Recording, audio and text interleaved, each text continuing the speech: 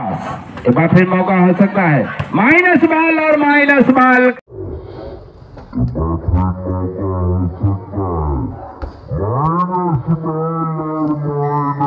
बाल